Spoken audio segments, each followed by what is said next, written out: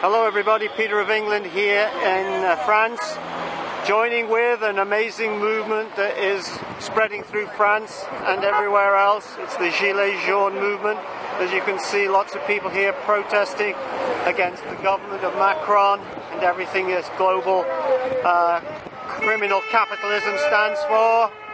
Lots of people, and this is happening all over France Avignon, Toulon, Marseille, Lyon all over. So this is just to let, let you know that uh, Peter of England here is going to be exporting this over to the UK uh, probably the beginning of January.